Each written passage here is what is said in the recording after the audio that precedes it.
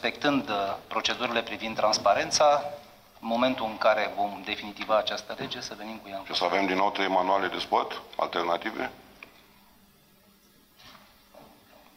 Nu da sau nu? Că dacă da, iertați-mă, hai să mai scriem o dată. Astăzi nu, În conform regulă. Și tot așa cu editorile 10 ani în uh, contestații, licitații sau vă gândiți la o soluție de Ne asta? gândim la o soluție și în această Gen direcție. monitor oficial ca să nu mai fie discuții. Da, uh, ideea este și avem un, uh, o ordonanță de urgență la care uh, trebuie să mai lucrăm un pic. Ordonanță de urgență prin care editura didactică și pedagogică să gestioneze această activitate de editare a manualelor.